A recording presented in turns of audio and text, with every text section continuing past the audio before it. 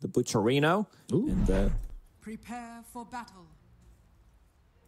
see how this game goes. You know, see how we can uh, we can get our predictions right if you guys are in game and in client right now.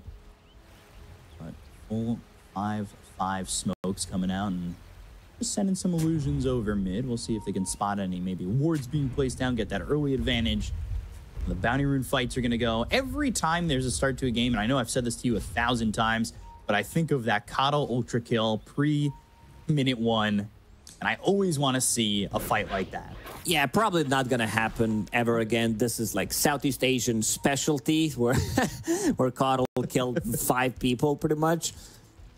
One thing that TSM do have in this one is tankiness. They do have a lot of tanks, a lot of good front line. Um, Lone Druid, I want to see what the item is going to be on him. I see Radiance queued up. Most of the like mid Lone Druids that I watched in high professional Dota and some of the like because he hasn't been picked much. But I also Right. think this hero is going to be played a lot at this TI. Has been this Diffusal Blade. Hmm. Yeah, Diffuser's Diffusal Blade. popular on a couple of heroes, right? Diffusal Blade, Echo Saber. So we'll see if they fight. Topson the one right in the bounty room, but there are three heroes here. Arya Whitemon will pressure Topson enough to push him away from the bounty, and TSM, well, they've got themselves three bounty runes to start, and then one will be picked up here by Tundra, so just taking a look across the board as they're going to be throwing this lone druid in the top lane with hmm. Ari. switching things up. One of the heroes like that can do really well against Warlock if he's caught out of position. Because this hero, what he does is uses Fatal Bonds, pushes out the wave, then goes for the pool, uses Fatal Bonds again. It's Pudge, but because he can hook him out, like he can hook him out of the position, starting Right. with Rot immediately level one in this bottom lane. I like what I see. He's gonna soak a lot of damage from both Fatal Bonds, some right clicks, but also wants to kill illusions immediately.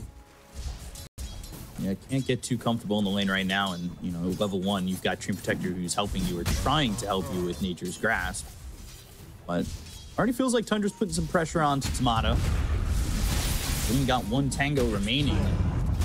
You were saying mid's going to be very important. Right now, it's just pretty much even. Who do you think comes away ahead of this mid matchup between Bryle and Topson? I think Brow's gonna do good. Like he's playing Zeus into melee hero. Sure, you're playing into Earth Spirit, one of the heroes, like one of the easiest heroes you can close the gap with. But uh, I could see Brow doing good. You also have Heavenly Jump ever since this addition. Zeus feels much nicer to play. Picks that heavenly jump up level two. Working with that arc lightning. We'll see when Topson uh, chooses to also rotate through these lanes too. Like you said, Earth Spirit's definitely one of those heroes that has that long range initiation. He's sitting a little bit low here, needs to be careful as this arc lightning's starting to put big hurt on him over mid. Bryle might pick up both water runes. He's putting in some pressure. Doesn't have much mana to work with, only Heavenly Jump. Topson's bottle is on the way, but Bryle, he wants to maybe put in slightly more pressure. Top There's the. Inkswell top. Yeah, they're gonna get this first blood. 33 is gonna get credit for it. Kasane is gonna fall. They look over at Ari. He's able to sit under the tier one tower alive for a moment, but getting that first blood for Tundra. And you were talking about the upgrades to this Inkswell, being able to pop it off yourself. It just makes it so much easier to line things up, and they show it there by getting first blood. Easy does it in the top lane, and you can see that lane's already going well for Tundra, and bottom is looking pretty good too. 12 and 4 for Skiter. completely free farming in this lane. Putting pressure on Pudge. Timado's, he's doing okay. Uh, does have a ring of health, does have ring of protection to soak up some of that physical damage. Top lane again, and it looks like Nine's going to be the one who falls. That Inkswell not saving him that time. So Kasane gets a little bit of revenge onto the Grimstroke. As not only did he die, but now his courier finally respawns, but gets a little bit of gold back in his pocket. And You can see the power of the bear already. And Grimstroke not feeling like, uh, you know, he can really stay nearby too well unless his positioning's kind of perfect against the bear, right? Snowball into tag team. It's a lot of damage coming through. It is. Like, you have to be careful. For now, Ari saving a point. Deciding whether he needs to block them off with the shard or if he wants to put another point in tag team. You get close tag team plus the bear. Let's see. We decided to put a second one in tag Bottom team. lane, Sneyking's in trouble, and they've got a net on a Timado. Leech Seed here with right clicks coming in from Whitemon, who's got no more mana left. Fairy Fire, Blood Grenade goes back towards the tree and ends up losing his life. They've got the Fatal Bonds on, but they just don't have the damage to get a kill on either Timado or Whitemon at the moment, and maybe they can chase him down and land a net. Maybe get a courier. Hmm? No courier there. Skiter in a little bit far. Timado, no hook. It's on cooldown, so This is what we not- not gonna mentioned. You're playing into Warlock. If you reposition him with the hook, you might be able to get the kill because he wants to keep the distance, stay like in the vicinity of a tower, and just secure the farm. For his for his safe laner, maybe get the pull off. Zeus, he's gonna be level six in the next minute, so I expect TSM to start playing much more aggressive as soon as Zeus gets that level six. Is under attack. get anybody close to low, you can really help out with a nice Thunder God's Wrath. They're going in. They've got the roll. They have Topson making the move over towards top. They look over at the bear, and it will be Plus 300, that's gold for. Topson. That's a that's a hero kill in itself. Like 300 gold is no joke, especially when you're giving it over to the mid. He's still gonna stick around, it seems. He's one of the heroes They, that they can. still see him though. Yeah, he can still rotate. Like, there's two heroes in the game. Bottom lane again. Constant action. Can't even finish my thought. Yeah, they go for Skiter. They get the kill. They land the hook. That Upheaval's not doing enough to save this Naga. Get some damage on it to Timado as he's trying to run away. Ticking ah! down 50 health. Pops that stick. Is a shared tango. There's not much the Warlock can do once he's able to walk away. But top lane, they're going after Ari. They've got the Ink Skull. They have the pressure on. They're looking for the Tusk. But here comes the Zeus. Trials in. Topson with the roll, trying to get away. They get the kill on Ari. They'll finally take the Tusk, but Topson in trouble. Gonna try and run away, but the Thunder God's Wrath is there, and Bryle will get the kill on the Earth Spirit trying to retreat. This is something that we mentioned during the draft as well. TSM heroes are really difficult to kill, especially early on. They're super tanky. This is Treant Protector level 4 with 1000 HP. Nine. Nine. Over mid, and uh, mean, Ari's in the mix as well. That Ink Skull's never gonna pop. Bryle's got another kill. So Bryle makes a move. He's the one who TP's top, gets two kills for his trouble. Now bottom lane again, a lot of action. Topson's made his way over bottom, and they're gonna get this punch. Uh, Topson one of those players that doesn't care about his own levels or anything. Like he wants to make a move, and now he might be able to go for the move, pick up enemy XP rune. This is going to be massive if he manages to do it. He does have Boulder Still Smash. He away. does have Rolling Boulder. Top gets two kills for his trouble. Now bottom lane again, a lot of action. Topson's made his way over bottom, and they're gonna get this punch. Uh, Topson one of those players that doesn't care about his own levels or anything. Like he wants to make a move, and now he might be able to go for the move, pick up enemy XP rune. This is going to be massive if he manages to do it. He does have Boulder Still Smash. He does have Rolling Boulder available as well, and also Nine is going for his own XP rune. So potential for double XP rune here for the side of Tundra after getting a couple kills, but also dying over top. They're bringing a lot of heroes here for TSM. Topson's here with Sneyking, and he drops down the Magnetize. The upheaval will slow down Whitemon, but they've got the Snowball to stop that. So Sneyking in a very vulnerable position with Pudge right behind. Oh, these punches Topson's hurt. getting low, and can He he, at picked it least up. get one kill? They'll get White Mon. Topson gets the Wisdom Rune. Now he's got the Boulder Smash, but here comes Bryle. Mono gets Topson, Bryle gets Sneyking. And it's a two for one, but they do end up getting the Wisdom Rune and a kill. Ooh, not not sure if that's like XP runes, definitely worth it, but they also just got like one kill on position five while losing Topson. He did get those Urn of Shadow charges before he died, so that's a big benefit because sometimes you need that extra damage and also relieving some of the pressure from Skiter. Very interesting build coming out from Bryle. This is like I've seen this a couple of times in pub, just skipping mana boots completely. Going on Bryle. Speaking of Bryle, he's dead. Whitemon trying to come over to help, but there's just no real way for him to do so. And now the Fatal Bonds hit Ari and Whitemon, so they can't really defend too well anymore. Dire's middle tower is under attack. both of these teams on point when it comes down to dewarding. I think they already killed like three, four observer wards total. Mato in the bottom, farming up, getting his level six. Vanguard available. They smoke right off picking up that double damage, so they want to go for more. The pressure's not stopping from Tundra. They really want to keep their pedal on the gas. You said TSM, they have a really good early game, and I think they're trying to counter right now from Tundra with pressure of their own, right? 33 is level 6, so that means Solar Guardian is available. Inkswell is gonna ooh, be avoided with the snowball save from Ari, but they've got the magnetize to try and turn this. Damage coming in. Thunder God's Wrath. Topson's dead. Ari traded. Down goes Timado. So two kills there for Tundra for the one of that Earth Spirit from the mid. And overall, it's okay for Tundra, but again, losing this Earth Spirit for the third time. middle tower is under attack. It just stops and things. He loves to be super active, wants to like break the game. This is how he won two TIs, pretty much. Just constant aggression coming out from his team, and uh, I've noticed like the slight change in the way Tundra plays. Because like people, when people talk about Tundra, it's all about you know they choke you out. But Tundra is also like even before Topson joined, they were the team that could play extremely fast Dota when necessary. Now with the addition of Topson, Just look again. at him go. Yeah, they want to go for more, but they've got the snowball back over on onto Topson.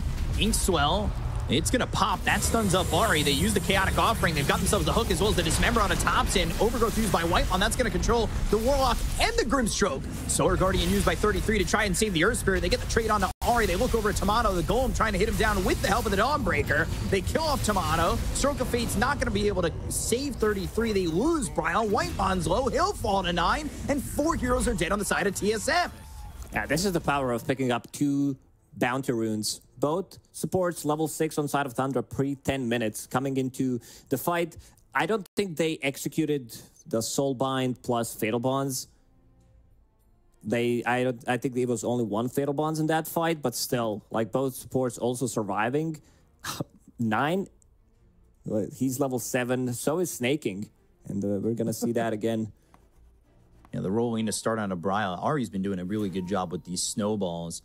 But you can hold Yeah, Inkswell for a long one. time. one fatal bonds but still more than enough. And this solar guardian coming in clutch. Like you know that you're not killing golem in this fight. He's gonna deal ton of damage. Brawl needs to keep the distance but uh, again you have heroes that can close the gap. He does what he can in this one. Trades but uh, they lose way too much. Yeah, they're a little clumped up, and that's just allowing Zeus to output a lot of damage with that arc lightning, right? Well, has Kaya doesn't have neutral item yet maybe he finds a fairy trinket Dire's bottom tower is under attack.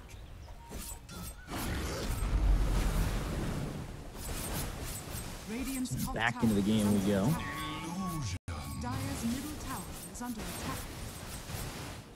As It's only a 1k net worth lead for Tundra at the moment. But it's been back and forth. It's 10 minutes in. We're, we're averaging two kills a minute at the moment. Huh? We said Fairy's Trinket. There it is on Zeus. Some extra spell amp coming out from him. Ooh, that ulti, it's gonna hurt. Oh, yeah. While all this is happening, both kind of real carries in this game are farming. Kasane already has Relic, only needs to find Talisman.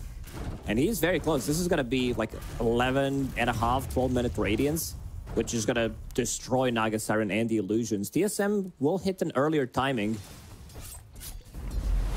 I mean, that's something you talked about in the draft, right? Like the timing that they have available to them compared to Tundra's. But is Tundra slowing down that timing enough? They're doing a good job picking up like some of these earlier engagements. Mm-hmm. Sane's already got the Sacred Relic. He's almost into the Talisman. 500 gold off of finishing off that Radiance. Bryle leading the net worth at the moment. Like you said, has that Fairy's Trinket, has the Kaya going into a Eul's next. Things kind of, at least for the this current minute, slowing down a little bit.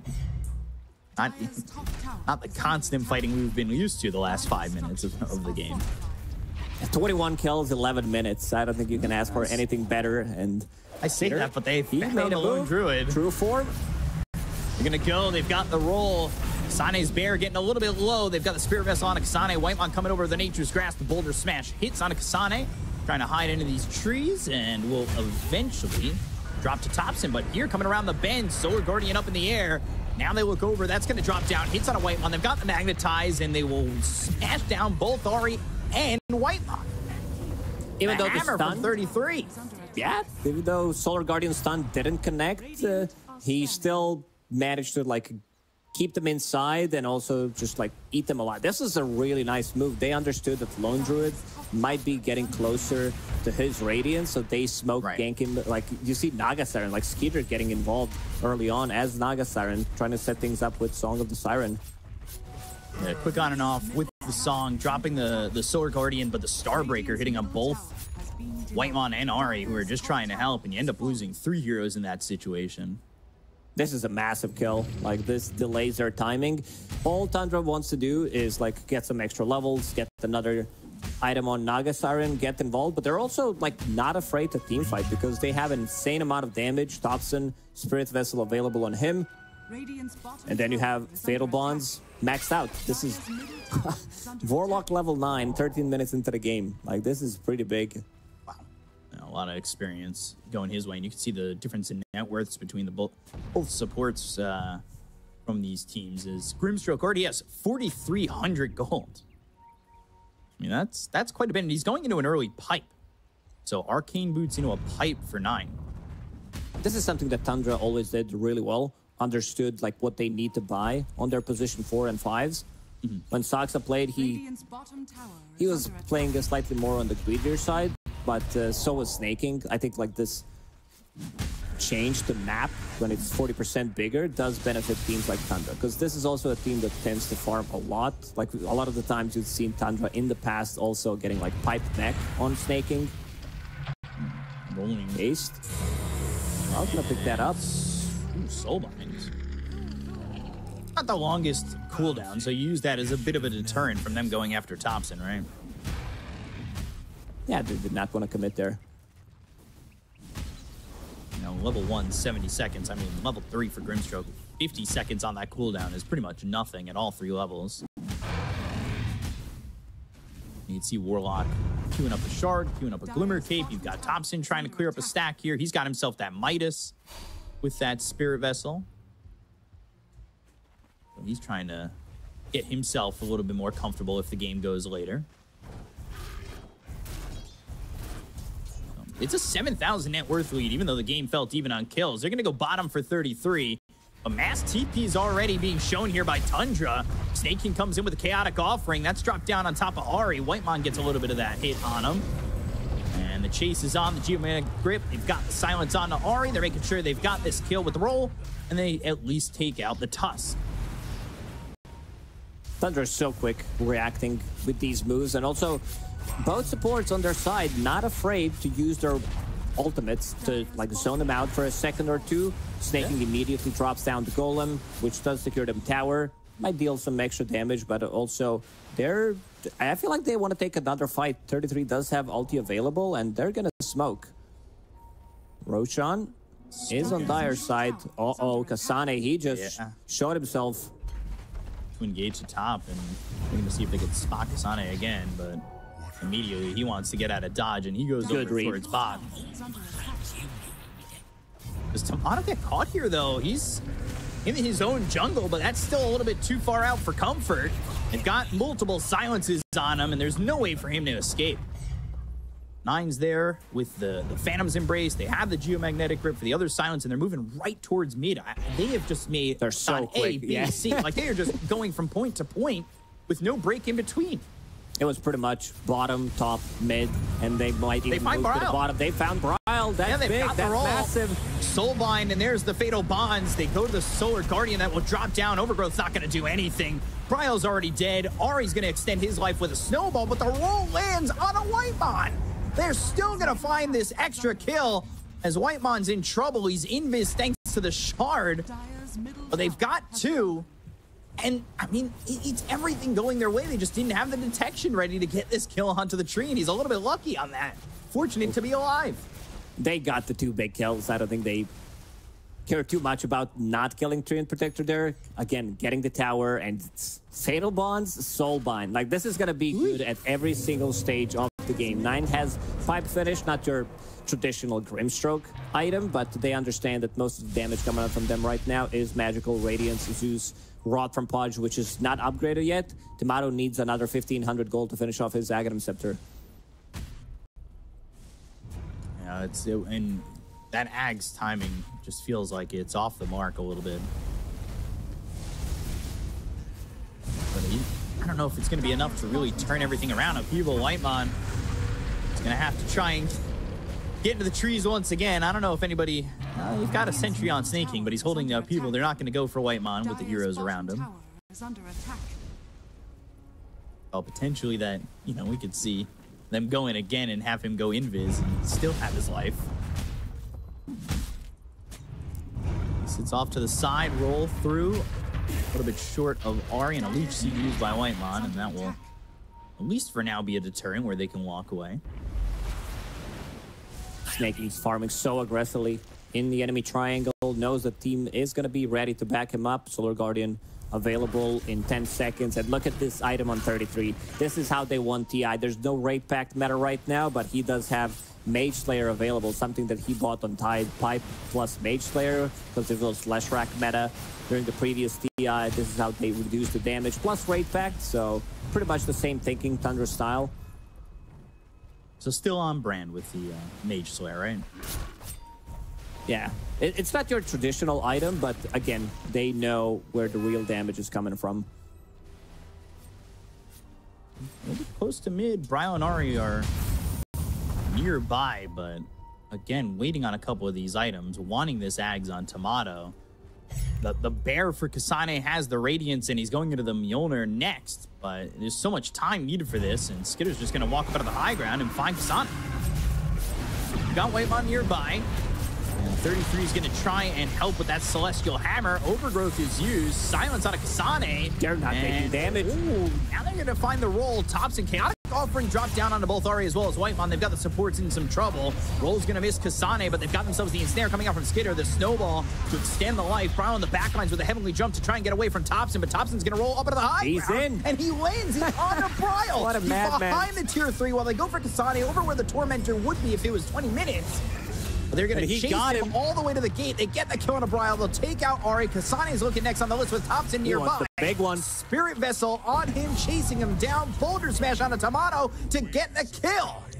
Onto What a Kasane. player. he goes in pretty much on his own. Rest of the team, some of them were still near the tier 2 tower, and uh, that's just Topson things. What can you do? He no hesitation to roll up out of the high ground after the heavenly jump. Makes me appreciate He was he just wanted it, and he got it. if only all of life was that easy. I want it. I got it. I wish. You got it. Uh, this also opens up tormentors for them. I see Warlock buying shard of his own. Nine has one queued up, needs another 300 gold. And again, this is how Tundra does it. Like they know how to utilize the map. And speaking of itemization, Grimstroke, he does have Trusty Shovel, digging up some bounty runes. Of course, snaking with the Philosopher's Stone, Big Boy Philly, providing him with some extra gold. Hand of Midas, this is where the difference is coming from. I think what changed the tempo of this game was this gain from Skiter and the rest of the team on Lone Druid before he could Right. get his Radiance off. Delaying the timing. Stop, right? They're going in. Topson. Soulbind, Bear connected to his master, and now they're going to go in. They've got the roll onto the backlines again. He's always looking for Bryle. These heroes are alive, but with a sliver of health, they get the kill to Bryle. They've got the Solar Guardian that's going to drop down to the backlines. Kasane with a life being taken from his hands already. And drop down as they get this Whitemon Tree Protector into trouble. No one's dying on their the side. They might be able to get one kill Sneyking. Timado gone. Whitemon looking next. Geomagnetic grip hits onto both of them. They'll even throw a blood grenade. They get the kill on Ari. Starbreaker was landing there and taking out this Tuscan. It's a full team wipe as Tundra lose nothing. They just have way too much to stay now on their side. Shadow Word, uh, despite it's insane pickup. Like uh, I, I think most of the players wouldn't pick it up on Grimstroke as a position four, but they know that they're gonna hit their own timing, delaying timing from TSM, and then they can go in and do what they're doing right now. 21 minutes, 22 minutes into the game, 22k gold lead. Like you know what I say a lot of the times. Like this is officially over when it hits 1k per minute. This is also a fight where there was no fatal bonds on double soulbind. He went for the soup instead. Dire's middle tower is under attack. You can see the bear is already out of the fight. Sane lasts a little bit longer, but 33's been perfect with these Solar Guardians, right? Dropping down behind the fight, knowing he's got the Celestial Hammer Starbreaker combo to follow it up. And yeah, the hook just into no man's land, not getting a kill or not finding a target. And then just the silences, he even keeps Sneyking alive. and not losing a single hero. Roshan's available if they want to go for it and try to close the game, but considering how Tundra's playing right now, I'm not sure they even need Roche. I think they can keep this pressure going. It doesn't seem like they have to slow down at all as Skiter's gonna find Ari. Has that net. Snowball buying some time. Shards to try and block him out. Mid lane, meanwhile, they're going after this Pudge. So Topson's gonna be on a monster kill streak on a Timado. As Skiter takes out Ari solo over in the top part of the jungle, and they call GG.